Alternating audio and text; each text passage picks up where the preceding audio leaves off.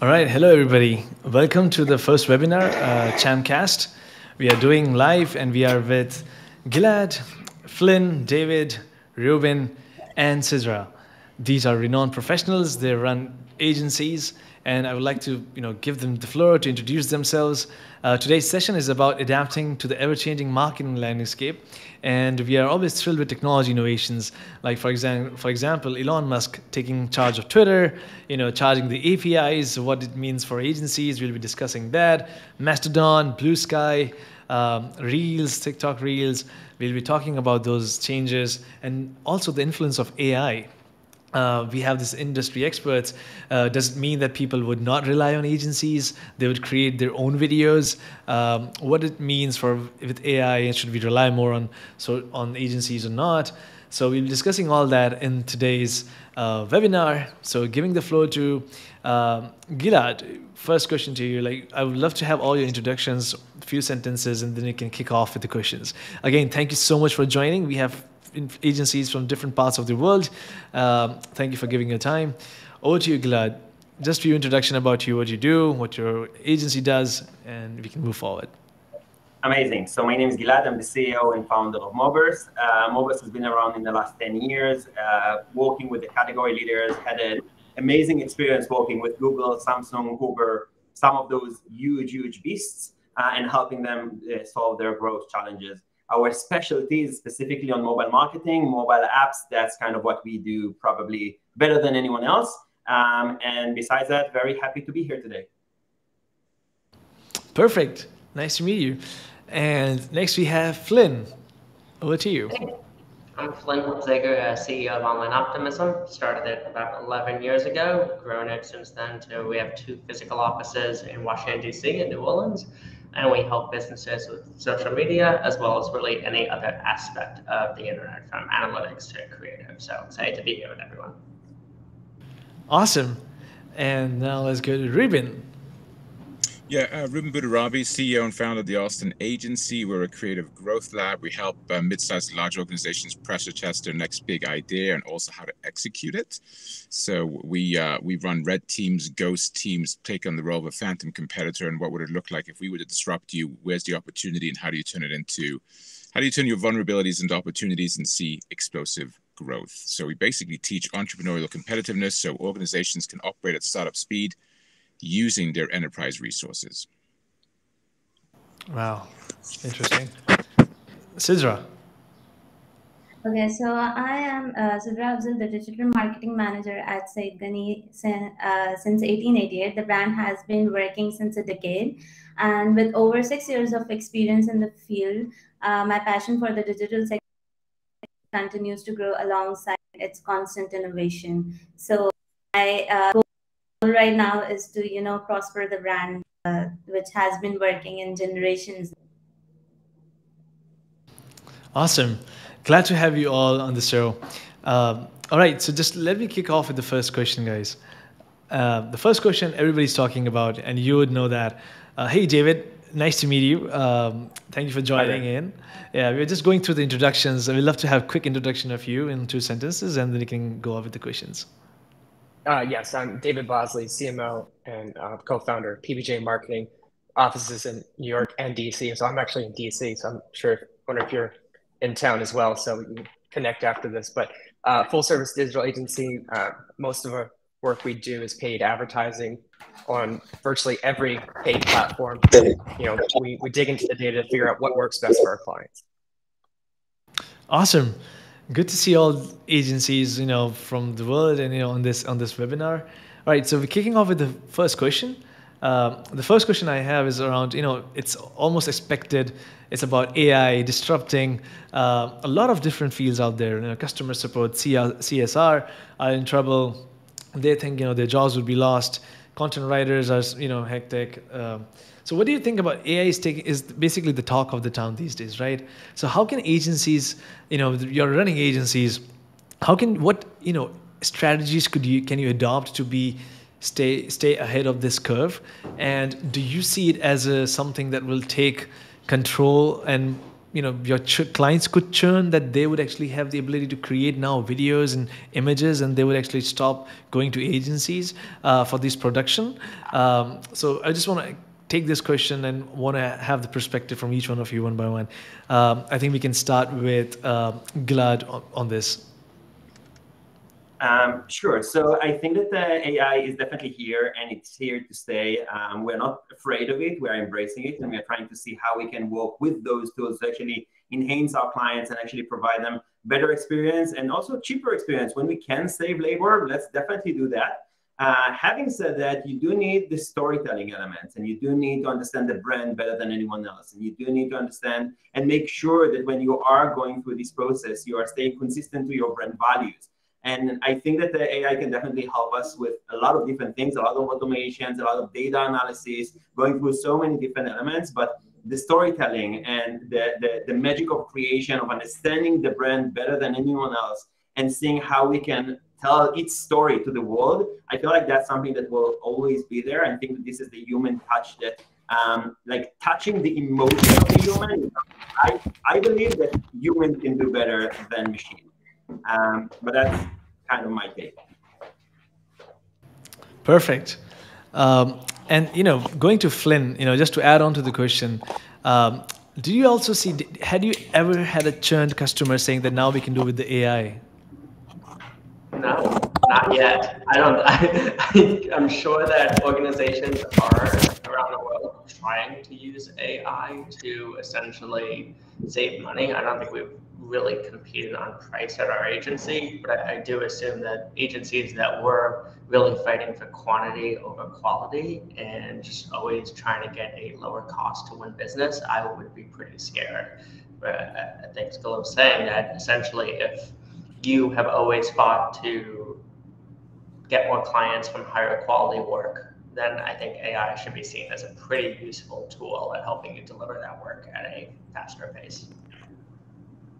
Awesome. That's a good perspective. David, would you agree with that? Anything contradictory? Yeah, so a challenge that we've had is getting quality content, quality creative, either produced by their in house teams or approved by the client through our teams, um, as well as getting video assets. That's always been a challenge. Even the biggest companies, I, I, the bigger they, the bigger the larger the companies, the more people, the more people need to sign off, right? So if anything, I think AI is going to speed up deliverables and at least give clients um, choices faster so that we as marketers can take those assets and then you know run with them. And then if we have enough assets we can actually do proper a b testing or whatnot. So if, if anything for our clients it has sped up production. It hasn't harmed in any way. Wow. Perfect. Now, carrying on with that conversation, Reuben, um, did it also help you scale content production, video production? Like, have you used AI? Have your agency used any generative AI based videos to promote ads, content? Has it helped you scale it? Um, what you know, David has shared. Yeah, good morning, everybody. Nice to be here. Um, I, we we uh, we are just exploring it. It's in the early stages. AI has been around for 15 years. It's just now coming to the forefront. So it's it's not it's not new new. It's just becoming more public than it ever has been. I think it's going to allow clients to do more with less. And I think that's the big theme that we're hearing in these big organizations right now. More with less. We budgets are under constraints. We're trying to save as many people's jobs as we can. We need more tools to still get the job done I view AI the same way I view the restaurant industry. If I want a meal, I can make my own. I can go to the supermarket. I can go get order pickup, or I can go to a restaurant. There's plenty of space for all of it in the marketplace. I'm not afraid of it. So it will it will take on its role, just like email did 20 years ago, 25 years ago. It's just part of the evolutionary cycle. I think it's exciting. Some jobs will go away, but I think it will also create new opportunities for new roles uh, within these different organizations. So I think it's a I think it's going to ultimately be a net plus. Perfect. And Sidra, how has AI helped you know Saeed Ghani, you know the brand itself to you know sell to more customers, generate ads, show your products in a good you know pictures? How does it help or not? Okay, uh, through AI, obviously it has helped uh, uh, like prospering the brand. Obviously, uh, like uh, through AI marketing campaigns, uh, companies can leverage vast amount of data to create personalized product recommendations and resulting in increased conversations and customer satisfaction as well. So such as marketing automation platforms and automate tasks and email delivery it has been very easy now like we do not need uh, any uh, kind of specific resource for all these perspective. Like it's it's a one one go job now. It has simplified a lot of stuff especially on the content area. Perfect. All right so now the next question is very you know it's challenging it's tough one so brace yourself. So so ai you guys handle very well like it's it's something that we embrace it it's good uh, it's been for many years. It's just that people are now, the adoption is going on scale.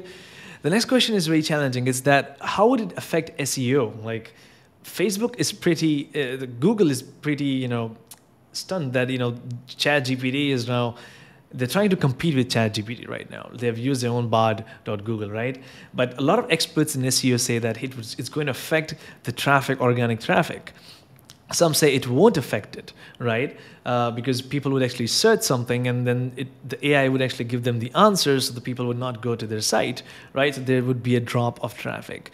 Um, what do you think about this? Is it a myth? Is it something that will actually help increase organic traffic? Would it decrease organic traffic?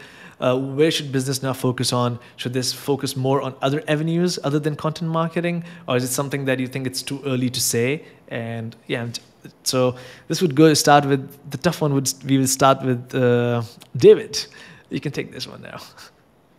So uh, I mean, there was a, I think it was Search Engine Land. Someone someone published recently a study on zero clicks, the rise on zero clicks, because so many uh, Google, Google search SERPs have changed where you you kind of get the answer right away, where you don't need to click again. Um, so that's been on a rise lately.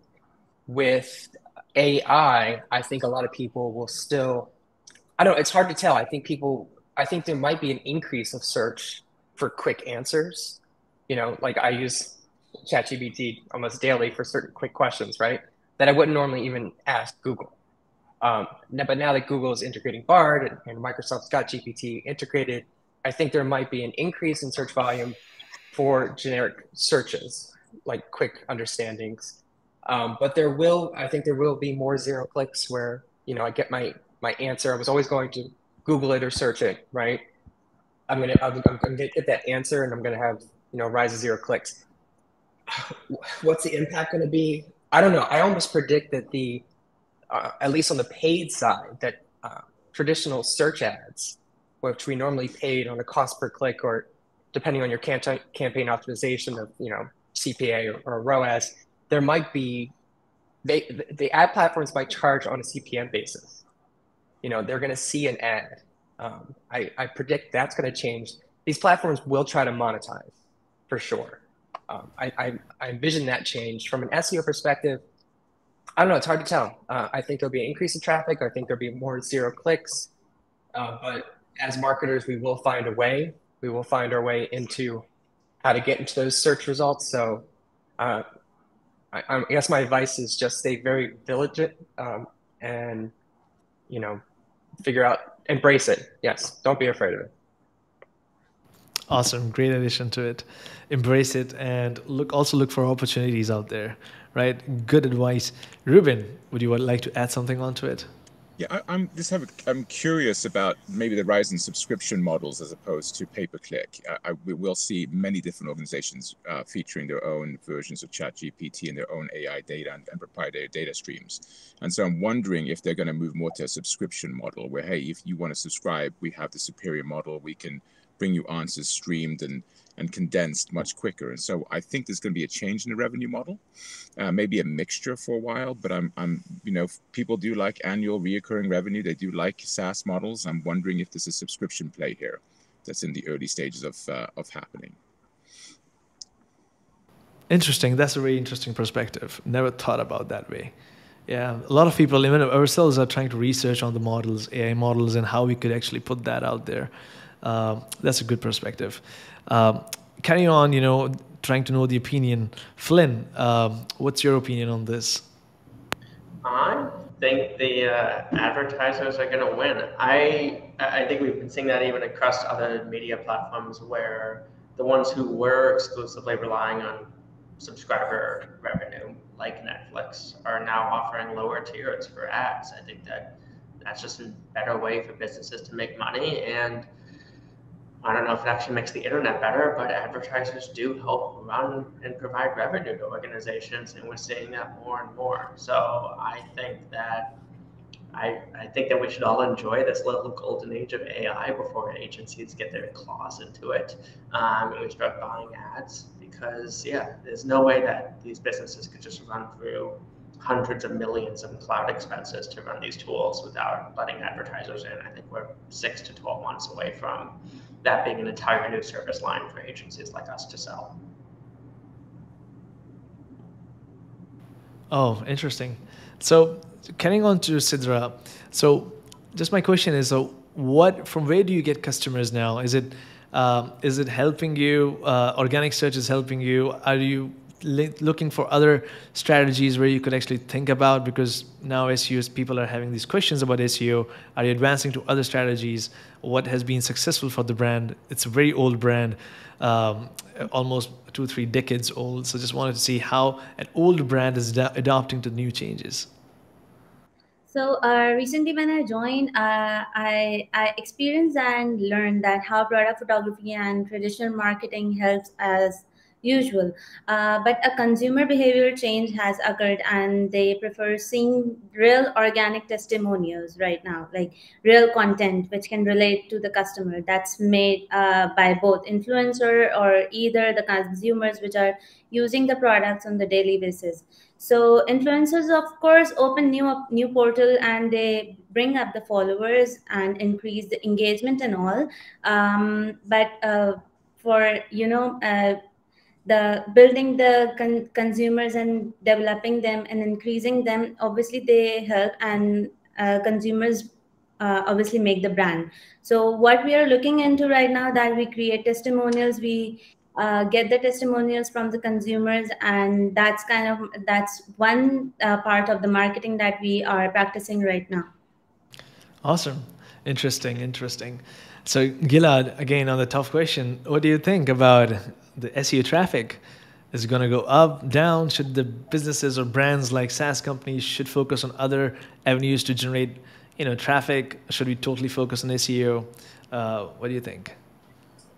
I think that it's really hard to tell. Um, in the short run, from the way that I look at it, I think that there are a huge amount of opportunities. I think that you will also start fighting against like SEO within ChatGPT like uh, when you are searching in ChatGPT, best mobile marketing agencies, currently uh, we are number one there, for example. And the reason that we are number one is that it searches in many different sites and then see who has the highest listings, and then based on that, put you there. So it's still kind of because we won in SEO, we won in ChatGPT with the way that it, it takes the data from Bing. Um, or from again depending on which model 3.5 4 or if it's the, the one that is connected to the uh, to the internet but um, at the end of the day, I think that SEO, um, I think that there will be less people that are asking Google questions. I think that there will be more people asking um, uh, ChatGPT or like type of uh, AI tools uh, questions. And I think that uh, Google will also need to revise their um, their search query. So it, the fact that you're asking a question and you need to review hundreds or thousands of sites to be able to find that instead of them showing you this is probably what you're referring to, that's because they're more that, that's how they monetize. So they will find new models and actually monetize it in, in, in different ways, just like you have display, just like you have many other uh, avenues. So I think that just like anything else, um, organic uh, traffic will shift slowly. I think that uh, uh nowadays, for example, for a client that we used to do four um, blog posts every every uh, month, so once a week. Uh, we are now we can do exactly in the same capacity using AI around 50 articles uh, every uh, every month with exactly the same person who is sitting on their blog and actually writing and drafting the content. And that's because we get all of those shortcuts using AI. So you have a huge amount of content, too much content, if you will. And then the question is, what is quality content, where users are actually staying for the longer run, and then how you can actually make an impact over um, uh, over what it, whatever the users were searching for. So I think that this is a, a start of a kind of another another stage in the in the side of uh, of going through this uh, uh revolution and I don't see, uh, you know, just like Flynn said, I think that marketers will win at the end of the day. It will change the tools, but you will still have paid acquisitions that's going to be running most of the show, and you still have direct traffic. So whoever is looking for Macy's will find Macy's. I don't need to search for it. I, I know what the brand is, is all about. So I think that that will just continue, and, and the tools for the marketeers will just continue on evolving as the time go, goes by. Three years ago, who thought of TikTok, right? Like who knew about what TikTok is all about? Nowadays, I see zero brands that have uh, uh, no presence on, on TikTok. So things are evolving and it's just part of the evolution. I think that's a very fair point. I think uh, I still remember remember that you know when I was using ChatGPT, I asked what are the top social media marketing tools out there. It listed listed us in the list, and I figured out that he, the content was picked from certain specific sites. And then I trained it and said that hey, this is something much more better than this, and it started getting trained. But the question was the way I trained that model, the ChatGPT model, it's it, it hasn't trained the same for other users. It has only trained that from my own chat, right? Uh, but that's a very interesting perspective. That hey, the, the, data, the knowledge base is basically being extracted by the sites that are present online. So you know, SEO will have some role onto it, but the traffic will basically disperse, right? Uh, great feedback on that, Gilad. Um, and also the questions are very common, right? So for example, like you said, uh, used to generate one specific piece of content. Now, the number of content has increased because of AI. But the question is, will Google someday catch that the content is produced by AI or not? And if it catches, will it will it you know put some less points for your domain, right? So a lot of content creators are saying that hey, we'll produce content not using AI because one day Google might figure out this is done by AI and our site would be down that's a very complex question. So uh, that's a different question. But I want to ask one question that a lot of agencies, digital agencies, are being asked by clients. Uh, whenever you know new startup, new startups who are trying to run agencies as they go, they see clients asking one question, and that is, if you can make them go viral, right? You would have faced a lot of customers, you know, messaging you and clients coming to you, hey, when would we go viral? You know, what is one content that will go viral? Uh, how do you, or how would a new agency who's starting up reply to that customer, right? Um, what should be the best reply to them? Uh, and this question is for a lot of digital agencies, owners, founders who want to start agency, who want to scale, and they're actually stuck at this point that people come and say, hey, what's the ROI? You know, what's the ROI of doing content search when the results are after three months? You know, what the social media post, everybody knows is dead, organic reach is dead, right? How do you answer that? Uh, this answer would be very helpful to people who are starting agencies. So, this question I can start first with Flynn. Uh, how do you answer that?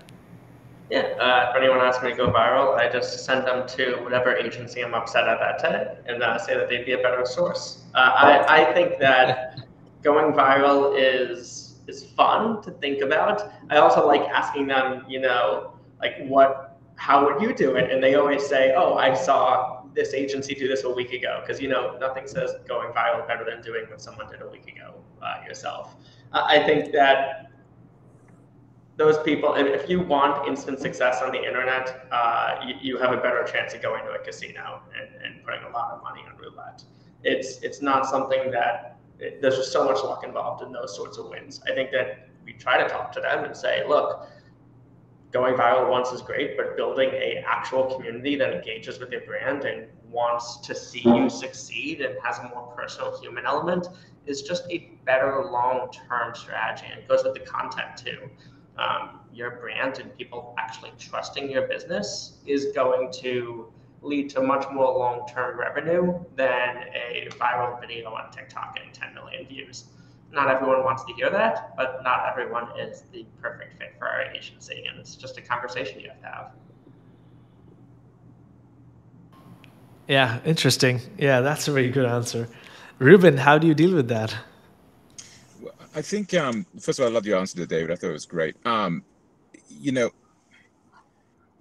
there's a statistic that came out not too long ago in the New York Times that says 67% of all new business comes via referral. And so, you know, if that is true, and I think there's some truth to that, then you're spending all this money in about 33% of the population. 67% of the population will never respond to ads, will never respond to direct messaging, organic or otherwise. So it's how do you how do you uh, arm and equip the folks you've done business with to make strategic introductions and referrals? And the referral business is always the best business. You walk in with credibility, you walk in with less competition. It's proven to be more profitable. It's it's proven to be more enduring. So the, the real biggest piece of the pie is the referral business. And if you want to go viral, I highly recommend coming up with really um, powerful referral strategies and how do you arm your key constituents, your key customers, making them the hero increasing their impact and influence and having them want to open doors for you into their relationships and their networks. So uh, that is if you if you want to go viral, quote unquote. I mean, there's no. I mean, you can always get quick wins. That's different from going viral. You can always have a, a, a spike. That's different from going viral. But it's the same as going to the gym. You got to put in the time, effort, sweat, and just dedication to making your growth work. And I think if you can work existing relationships where you already had some powerful wins and have them be your champions, that's the best way to have the least amount of competition, the highest profit margins, and um, and probably some of the most innovative marketing out there. And you can use a lot of these strategies, but just figuring a way to, to enroll your allies in your efforts. Yeah, totally makes sense. Referral traffic is something that if you start having alpha audience or customers and they start referring you, you can beat your competition in no time. Um, totally agree with that. Um, David, what do you think about when somebody asks you this question? How do you reply to them? No, I, I, agree with Flynn and Reuben. Um, the only other tip I want to add is uh, if you want to go viral on a personal level, I have seen everyone has the capability to go viral on TikTok. It's almost part of their, their algorithm. So if if you personally want to just keep producing trendy content, it's almost like TikTok purposely selects um it almost wants everyone to go viral once. Like I've seen at least two of my personal friends go extremely viral without even trying, right? They're not trying to be influencers. They're, I would say, normal users, but they, but TikTok has made each of them go viral at least once, right? Um, so if you personally want to go viral, I think TikTok is the way to go. I think you just that's the algorithm. Just keep producing content over and over again, and it will. Um, I've seen influencers re-record the same video over and over and over again. It's obnoxious, and they know what they're doing because eventually TikTok's gonna pick up one of them and make it go viral, and they delete all the old ones. So on a personal level, you can go viral. Does that benefit you? You know, that's you got to know what you're getting into. If you just want to go viral for for vanity, fine. I've never seen a business do it. I'm sure if you did the same principles, maybe TikTok would. They're probably wanting you to pay for it. But yeah, I agree. It's why do you why do you need to go viral? Um, what's the benefit from it? Um, usually going viral is because it's popular, just because it's you know trendy right now. It's comedic, but all those people that liked liked it aren't necessarily your customer, and you can see that because it, it went viral, but then your follower count didn't increase. So okay, great, you went viral, but had really little to no benefit other than that short-lived time frame. But yeah, you should you should focus on what's actually going to build a community, what's actually going to drive business. If it is referrals, you should know that out of the gate before you're even asking the question, make me go viral. You probably don't need to go viral if, if most of your business comes from referrals. So 100% agree on those three comments. These are really good ones. You know, people do not actually know why they want to go viral they just like the count. I basically on TikTok they see that hey, two million likes. Uh, and they're like happy with it. There's nothing to do with them, right? Um, that's a good comment. Sidra, going to you. What what if your boss tells you that create a strategy that will make us go viral? You know, how do you respond to them? Like, hey, boss, it doesn't work like that. Okay, so um, as a brand, I'd um, you know like to share a concept or something. Uh, recently, I was uh, collaborating with another brand for a campaign as a freelancer, obviously because I'm a marketer, so I work freelance as well. So um, you know, uh, I came up with this idea uh, about the influencer obviously i would second david here because uh, it's all about influencers right now like uh, if you get uh, campaign with the get done with the campaign with an influencer and their followers repeat it and then you know it it runs a cycle. Like uh, just in case if we if there is an um, organization creating hot noodles. So you know for example if someone launches a hot noodles flavor may might challenge influencers to take on the challenge to you know finish two bowls of hot noodles and now they will challenge their followers and that's how the cycle works. So um, my take on the uh, you know um, that uh, thing is you to get viral through influencers. Other than that if it doesn't work obviously then we will have to work. Right now i think that uh, influencers has taken over the market uh, quite um, aggressively. So that's how you can you know work on the viral thing. Interesting. Gamify uh, you know, like ice bucket challenge, right? You could gamify it, yeah. try to, if there's a cause, or you can just, you know, pass on. I, I, I know that, you know, campaign that, you know, there was a very you know the, the, the noodles were very extremely sour I think and people couldn't eat it. Yeah. Okay. Oh, going to yeah. Gilad. Okay, Gilad. I I don't know. I have just my instinct says that you're not fan of TikTok. I don't know why, but are you fan of TikTok or not? First of all, that, and then you know if somebody comes to you and says, "Hey, you want to go viral," would you recommend them TikTok? I have to say that uh, specifically for us, like we are um, one of the key agencies working with TikTok. So TikTok refers to us around five uh, companies every month to create videos for them, and TikTok basically pays us to create them the content so they will be more successful on TikTok. So as part of that, I obviously love uh, the relationship that we have with TikTok. It brings me um, uh, lots of success, and it brings those businesses lots of success because we see that they're in top one, top two, top three percent of the content that it actually engages on the platform. Um, and to tell you that uh, you know that this is something because we are uh, brain surgeons or you know flying people to NASA. No, it's not nothing about it. It's, it's genius. It's it's purely based on data. What worked before? What type of content resonates with users? Trying to find those specific, whether it's trends, whether it's um, uh, specific elements that for that specific brand or for all of their competitor um, uh, uh, content, which type of content actually shine more than the others. Now, going viral, I'm, I'm, it's not about getting millions of millions of, of, of, views for each and every content, but even for your own follower base, if your average rate, whether it's on, on TikTok, whether it's on Facebook, whether it's on Instagram, you have 3%, 5%, 7% that actually see your content, and now you manage to get it to 4 to 6 to 8%. So you, you manage to actually learn what your audience wants and you also manage to see what type of content resonates more. And you know that the first three seconds are the most crucial ones when most of the traffic actually abandons. So how can you grab their attention in those three seconds and doing something funny and doing something crazy, something that will not get them to continue on scrolling down to the next post, but actually getting some more some more seconds, and that will get you a bit higher than the than the noise. So there are a lot of different elements. I'm taking it more to mathematics uh, more than uh, like virality. I'm trying to see how we are building a specific formula that will get you a higher chances. Does that promise you anything? Absolutely not. Uh, do we have content that fails miserably? Of course, just like anyone else. At the end of the day, the, the, the question is more about can we get you to better to from where you were before or to better than the standard post? And as long as we keep on getting you a higher engagement rate and a higher conversion rate, we know that we are going in the right direction. And, and basically, I'm trying to take it through the data point of, of understanding what resonates with your specific audience. I'm not trying to get you viral like Beyonce or anything like that. We don't care about that audience. It's not your audience. But we do want to see if we can use a lot of humor, a lot of uh, things that will make you smile, about a lot of things that will, will touch you. And because of that, we will be able to rise above the crowd and, and hopefully to get more people to engage with the content. Interesting, very interesting perspective analytics data those are the key points to see what people are consuming i think.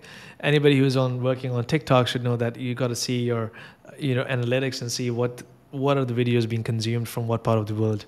Uh, now going more deeper into you know strategies out there i just want to know the core right now the secret are some strategies that you guys adopt in your agency that cuts through the noise um, and helps your brands or businesses reach the right target audience, right? Um, because right now it's information overload, right? There's so much noise. Um, the attention span is going lower for each person. How do you grab attention? What are the strategies you apply to grab that attention uh, and help the brands or the business reach the right target audience, right? So starting this question with Flynn. Yeah, I think one of the things that we've been seeing, this goes back to also what Dave was saying with uh, the individuals can go viral on TikTok, is we're seeing more and more brands showcasing the people behind the scenes who are creating the content. Uh, I think for a decade, especially on Twitter, you used to have these faceless comedians who were just doing brand content. And I think what we're seeing now is that individuals, whether it's executives or your social media managers, have an actual presence, and that's who people want to connect with. I think for companies, whether you're in house or agencies, I think that we're going to have to deal with a reckoning of if our the people behind the accounts or why people are actually joining, and also what is making these algorithms show your videos more.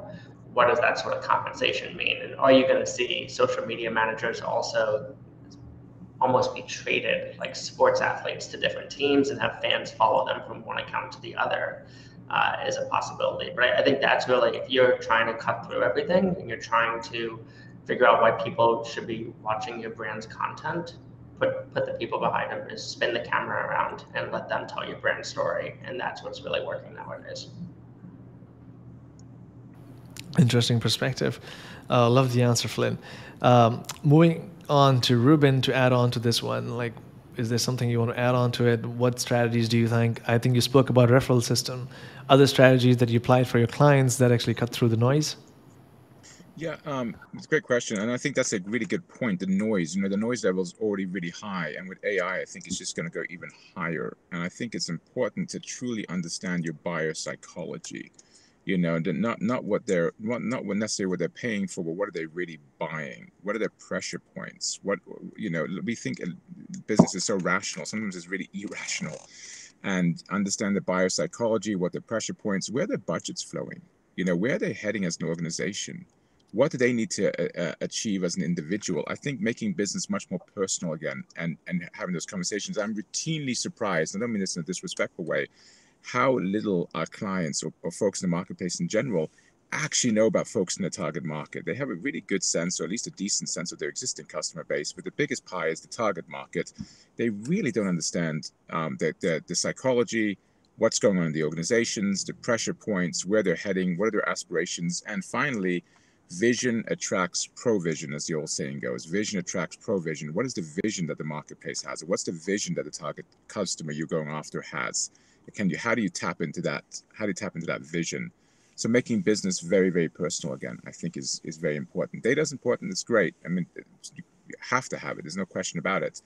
But there's no quote that says the conversation is the relationship. How many conversations are you having with actual people in your target market? Authentic real deep trusting conversations where you're really trying to understand how you can increase their impact and influence. And if you can get into that mindset i think you'll have the best success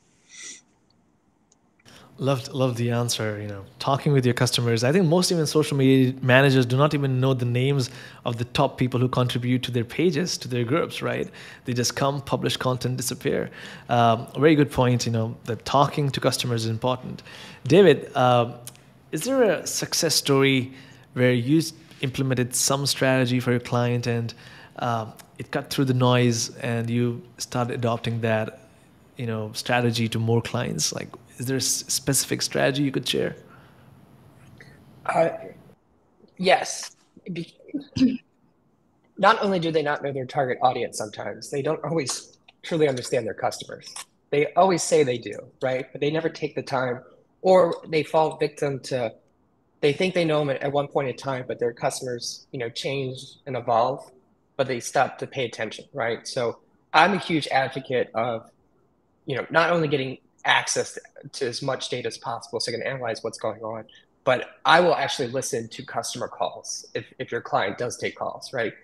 To hear what the customers are saying. What what do they sound like? Who what are the demographics, right? What are the right buzzwords? And you know, thankfully for AI, um, that's in, it's speeding up that with call summaries with, with this variety of call tracking services. So you don't actually necessarily need to listen every call. It can help identify uh, worthwhile calls that are good and bad and cut through the noise of just like is someone there okay bye right so it, it could save you a lot of time but um, just listening to that and and, and you know because you can't obviously always meet with customers if you can people will share a lot more in person right Um, they'll share they'll share stuff over a phone call. They'll share more over Zoom, but they'll share all sorts of stuff in person when it's not potentially being recorded, right? Um, so as much as you can get in front of customers and learn from them, um, reading even reading form submissions or comments, reading chat summaries, like just dig deep because you'll learn so much, and the clients who think they know their customers will be completely amazed. Um, they might think that oh, our customers search for this, so this is how they find us. Well, yes, they are, but that's not your top. That's not your top clients, by the way. So they're often fascinated by you know who the real customers are, the language they're using, and all of that can impact of what your social organic posts say, the visuals, the ad copy, just a slight change. It's like, oh wow, you get me now. You get this current time. This is all. This is what we're all facing. Like I resonate with this. So yeah, the more the more you can dig deep into that, it, it can really enhance all your marketing efforts and and that will that alone will set you apart from from competitors. Brilliant, brilliant. Um, that's a wonderful strategy, I think, and that's very important. That how would you set yourself apart from your customers um, and cut through the noise? Gilad, do you want to add on this? How do you guys do? How do you guys cut through the noise? Uh, you know, something that actually worked, and you were like, "Oh my God, this actually worked for us."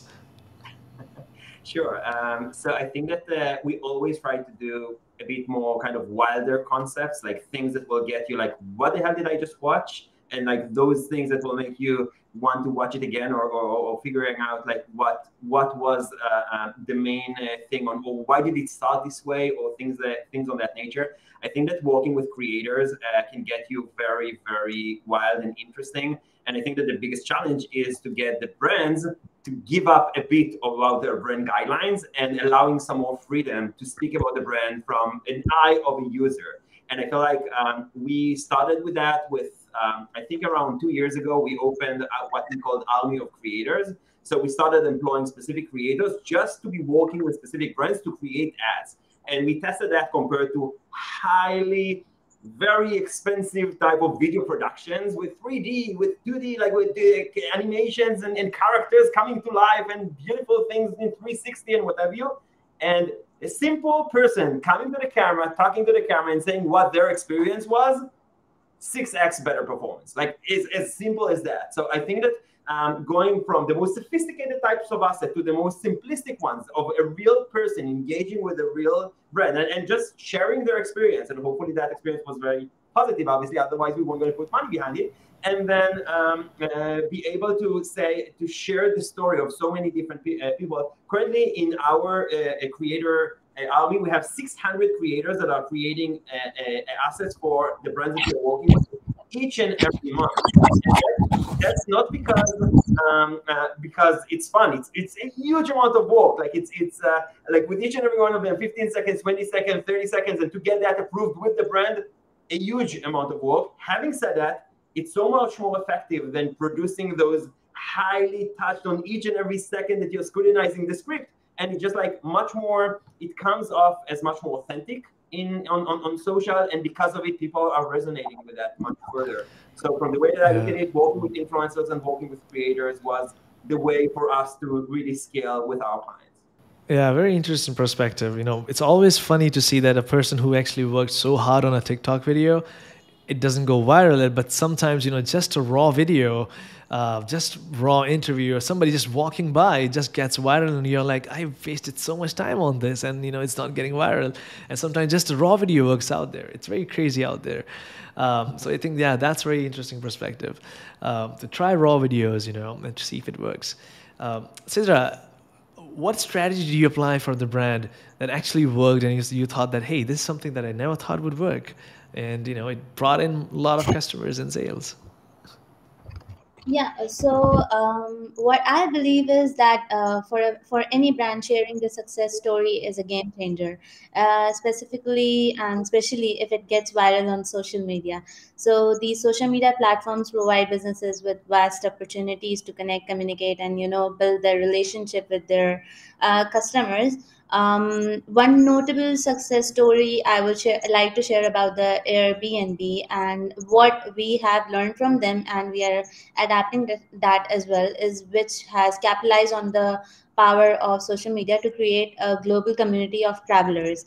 And you know through comp- compelling their storytelling and user generated content um, Airbnb has fostered a sense of trust within the users by showcasing, you know, unique uh, stories of the customers. So I believe if we uh, share the stories of the consumers, uh, it eventually uh, build that trust ability and trust factor among the other uh, followers as well, and then you know we can build the customers then.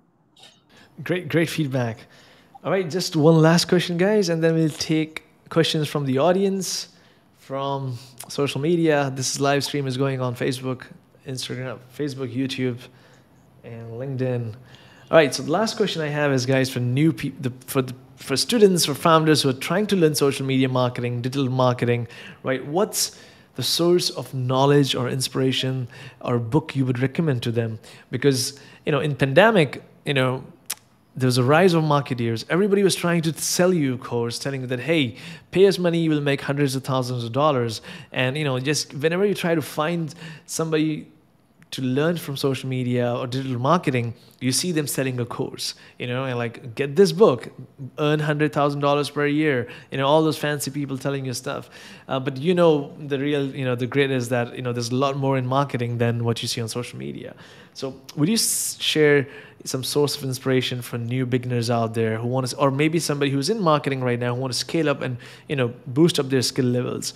Uh, source of inspiration, um, and this would I, I would start with Gilad? Sure. So I think that my my uh, uh, experiences might be a bit uh, different than others because we are a bigger organization. I have amazing team members that are currently like in a VP level or director level, and ha- they have you know 15, 20 years of experience um, and I think that I'm learning the most from team discussions and trying to come up with creative ideas or creative solutions for problems. I feel like this is something that helps me the most. I do read, obviously, a lot of industry blogs, and I'm, I'm attending in many different conferences, and I'm a judge in a lot of different conferences for awards. Uh, and, and, and award submission. So I see the, the thought process from strategy all the way down to execution and, and need to provide scores for those uh, type of things. So for me, I kind of feel like I have like inside sources to see things that are happening. Uh, but I feel like uh, case studies in the internet, you have a lots of them. You have industry blogs uh, on each and every type of niches. So try to find uh, uh, content uh, areas where you have content that not just trying to sell you something, but actually trying to show you how it worked on each and every step. and there are a lot of, lot of those on, that are really good on the internet. I think that besides that, trying to network with other professionals and seeing how they face specific uh, situation, uh, that always uh, keeps my brain very fresh about new ideas, new concepts, and, and new things mm-hmm. to test. So that's kind of that was my tool. Awesome, awesome. Uh, Reuben, any feedback on that?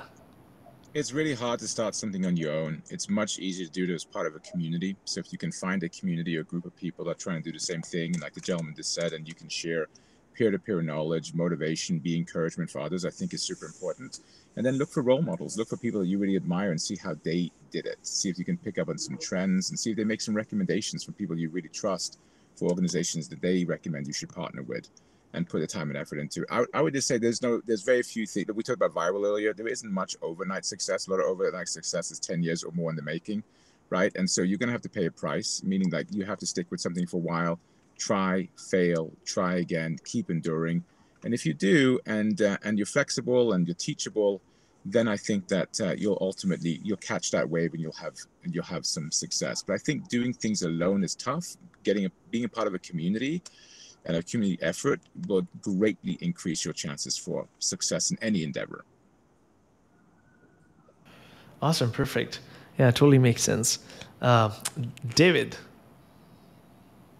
uh, if we're speaking uh, directly like to students and young people uh, trying to start a company in, in, this industry, just realize you're already likely the smartest person if you're using the latest social apps and know how to use it and and and to gain followers, right? If you figure that out, you already know how it works. Just just pause and, and realize what is causing this and how can I monetize this, right? So I'm about to date myself, but like way back when, when Hot or Not, Friendster, MySpace, right? You know, I enjoyed what made it work, but I didn't actually pause at that moment and say, how can I make money off this? How can I get a, a business out of this, right? So if if if you are already good at these apps, like you know, and, and I'm sorry, we all age out eventually, right? So like BeReal is popular with college students. There's always going to be more these small fringe apps that we just don't know about. That's why I constantly have to keep uh, talking to younger people like what's happening now and how to use it, right? So I get on there, but you know, at my age, I'm not doing a very good job, but, um, but they know how to do it. So if you are already using the latest social app and know how it works, just pause and realize how can I monetize that. Um, other than that, like if you inherently have, you know, a, a mind for psychology and a love for business, I mean, that is what marketing is. Put all that together, and you know, you'll you'll do well. Yeah, like you said, learning is a process. It's not an event. So keep on learning with new spaces out there. Wonderful comment, David. Um, next, Sidra, do you want to add something onto it? Yeah, uh, uh, my answer is going to be very short. Uh, like I'll share my own experience. Like I, uh, my sources were reputable uh, digital marketing blogs and websites, uh, such as Moz, HubSpot, and Neil Patel, obviously. So yeah. Perfect. Yeah, those are good sources. And I also recommend people going through Google Garage. The courses they have, like they're fundamental yeah. ones.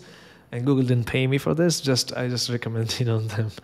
All right, going to Gilad, what tools or what sources do you recommend to young ones? Um, so I think that the, the, tools that I recommend to young ones, um, I feel like it really depends on which field you are. Um, like even in on digital in general, you have the creative part, you have the media, you have the BI, the analytics, the monitoring, the, the media buying on each and every platform. Like you have so many different uh, avenues, and I think that each of them is like their own profession. Um, so at the end of the day, I think that if you are a new uh, uh, and you uh, uh, uh, kind of coming into the into the marketing world, you need to kind of just find what are the things that get you passionate the most, and then based on that, try to see what what are the courses that could be the most relevant for your specific niche. Um, I feel like this, getting like a, a, specialist on something very, very unique. Let's say if you are Facebook expert and you know the system, they add the uh, uh, network systems or specifically on uh, on the creative economy and understanding exactly how to create the perfect uh, asset um, I think that each and every one of those things are different professions, and it's just a matter of what it is that you want to, where you want to be perceived, or how do you actually want to be uh, looked at in five years from now, and then what are the things look on others that are in that niche, in that industry, currently doing that role. What are the the, the path that they have done? What are the type of courses that they have done, and that can also help you uh, to get uh, to get you to where you are. Like trying to reverse engineer someone successful that is done through a similar path. Yeah, some great summing it up. Uh, I think we're over time. Um, should we? Are you guys open to take few one three questions from the audience? If you guys are open, I can take one or three questions. Um, and Reuben had to leave. Uh, he just he just left a message. He had to leave. So let me just take one or two questions. I had to ask more questions. This was very interesting conversation, by the way, guys. So much learning over there from myself too. I wanted to also ask what are the you know features that you would like to have in a social media marketing tool, uh, because there was a self plug over there, but I just can't ask right now because you're up time. Okay, just asking the first comment right now. Uh, let's see who we got. Uh, all right, let's so Shaquille. On Facebook is asking how important is it for marketers to experiment with new platforms and technologies to stay ahead of the curve? I think that's what David said. David, would like would you like to add something onto it? I think this is something that you resonates with your last point. Yeah, don't don't ever be blinded by anything. Constantly search for the latest apps. Try to get on there, observe the audience, and and think of how can I take a well, how can I take advantage of? How can I market to, or communicate with this audience? Perfect. Yeah, nice one. All right, the next question is with Faizan, I think. And how can marketers strike the right balance between automation and personalization in their marketing campaigns to deliver efficiency without sacrificing human touch? Oh, that's something that I often see with the AI stuff, to be honest. You know, I see a lot of emails. I know ChatGPT it's generated by ChatGPT, right? Uh, the prompt is not so good. That's why the answers are so blunt, and you know, it's it's. I think that's a great problem that we'll have in the future. Uh, who wants to take this one? Gilad, you want to take this one? Yeah, I, I can Sure. jump in. Um, Yeah. So I have to say that uh, trying to strike the right balance is not something that I care too much about. Like at the end of the day, I'm trying to understand what helps my clients and what helps their client engaging with the brand. And if it's only going to the right, or with this brand is only going to the left, like only doing things that are very highly personalized or doing things that are a bit more generic that will fit a, a wider audience, for each and every case, it's all, always a, a matter of what is the KPI? What are we trying to achieve? At the end of the day, we have a goal. What is that goal? It's not impressions, right? It's always much deeper than that. It could be the cost per uh, uh, click, the cost per uh, install, the cost per registered user, loyal user, paying user. We have a goal in front of us. What is the, the, the most efficient way of getting to that goal is A/B testing a, a few different approaches, seeing what works, and triple down on that. And and and which like trying to strike a balance is something that we don't uh, uh, care too much about. Like we care about the objective of the client and the, the fact that it, it, it works, that it works effectively in front of their customers. Yeah, nicely said. Next question. Um, uh, just last two questions, and then I guys, I leave you guys. I know we're over time. Sorry about that. Uh, Greg Jason, just a quick question: What strategies can marketers employ for the effectiveness of their marketing campaigns across channels? That's a very generic one.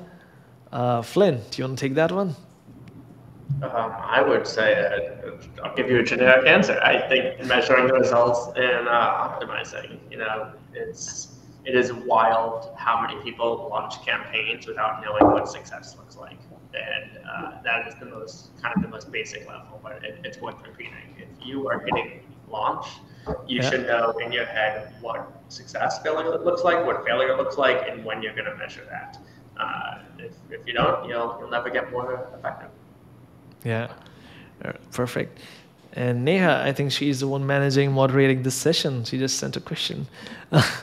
okay, the question is How can small businesses with limited resources adopt their marketing strategies to compete with larger, more established brands? I think this is a challenge that I gave her, I think, and this is trying, trying to, you know, how could we with a limited budget challenge the bigger ones? Great question. Anybody want to take this one? I think multiple people can join in. Yeah. Yes, I think that um, we're working with, on one end, enterprise beasts, and on the other end, uh, we're working with a lot of startups. And those startups usually have a friction of the budget of the, the big ones. If you're thinking about the startup like pre-seed or seed A or, like round A compared to uh, Fortune 500 companies, they don't have the same ammunition, so to speak.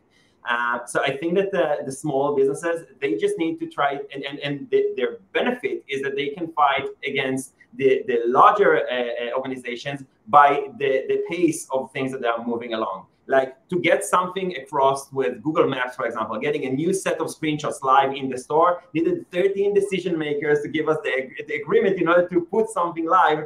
And with the startup, I, we are coming up with a concept and it's live the next day instead of actually taking two and a half months of getting it live to the to the store. So I think that that's the, the, the, the weapon, so to speak, of, of, of testing fast and, and failing fast and seeing what works uh, and, and changing um, uh, different elements and testing different new environments, testing new tools.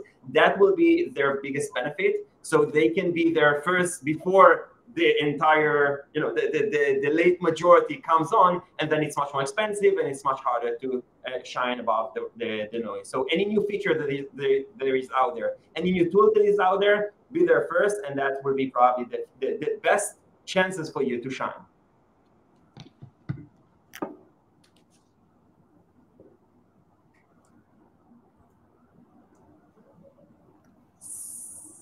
Something is wrong with the microphone of yours. Oh, I was mute. Sorry about that. I was saying that somebody from the team actually said, "Do you guys use Social Champ to deal with multiple clients?" Again, a plug I think I missed. So, just want to ask, you know, what tools do you guys use as agency owners that are part of your livelihood, you could say? You know, video editing, Adobe Premiere. I don't know those tools for social media, listening, publishing. Um, just to have an idea perspective, what's in the market right now being used. Um, I can start with Sidra and I can continue with everybody else, and then we can say goodbye. So currently we have started using Adobe Photoshop Firefly. Uh, it has uh, bought like uh, multiple changes in the graphics, obviously. So we have been uh, doing the photography in-house, and now that we have uh, Adobe for Firefly, we have started conducting it uh, for the shoot and all. Wow, perfect. Yeah, I just loved beta Facebook Photoshop. The generative AI is super amazing and crazy. David, would you like to join in and say something about the tools? Uh, yeah, I mean, I, I wouldn't say my boots are on the ground anymore, but my, my team is constantly testing a variety of tools. Um, I can't say that one really jumps out over another, so I give the team full reign. So, like anything, I, I just encourage everyone to experiment and constantly challenge the tools and the ways you do business um, until you find things that actually do work for you as a business or an agency or even on a client level. So.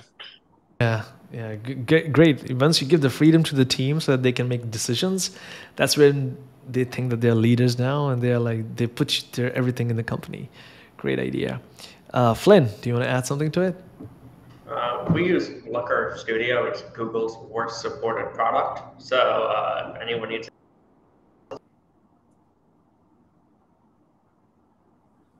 I think you're breaking up a little bit. Yeah. All right, Gilad. I think you're the last guy. Um, yeah, uh, so I think that um, my team uses uh, way too many tools. Uh, we are paying more than four hundred thousand dollar a year just for the subscription tools of the research tools by themselves, and then the creative tools, and then the media tools, and the bidders and automations, and uh, like uh, visualization tools. So it, it, really depends on which department are you referring to, um, and and I think that you know my my favorite one is Asana for the for following what happens on each and every project to understand where it's kind of uh, being delayed on things and when we are uh, not really meeting the KPI or looking on the weekly summaries of understanding what actually happened with specific projects. But that's on my view on the management. I'm sure that if I ask each and every team of mine, they will probably provide you four different tools of their favorites. We are always testing first with, again, with Midjourney and with ChatGPT and like with all of the different AI tools um, Jasper AI is something that my my uh, creative team really likes on, on the content writing, and there are like so many different tools uh, that are out there. Um, so I, I, can't really give you like a, a, great answer on this one because it's it's like really depending by by each and every team and each and every department. Awesome. Yeah, that's a good one. Yeah, I again forgot. I was focusing on uh, Flynn. I think you got disconnected. You can ask again. Uh, you can answer again. Yeah. Yeah, sorry about that. I'll, I'll say Looker Studio. It's good for data analysis. It's, it's the best tool we found, especially um, for comparing different sources of traffic. If you're looking to compare like social to search, it's provided by Google. So yeah, Looker Studio.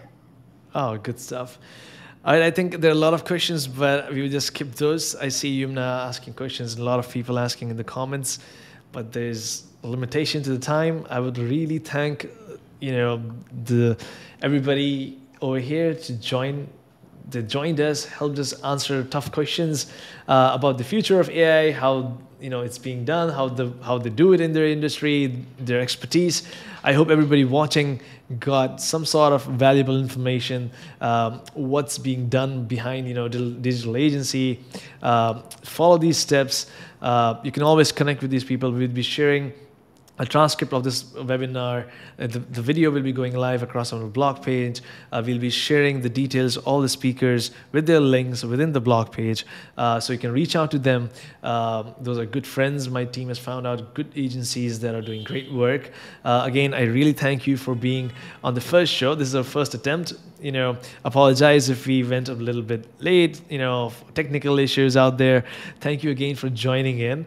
We'd love to, you know, have you on board again, speak to you, understand your problems, see how we can work together uh, in the future.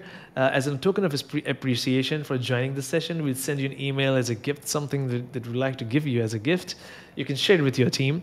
Uh, again, you know, loved having you guys. Thank you so much, and uh, see you next time. Have a good day, everybody. Bye bye. Thank you. Thank you. Bye bye.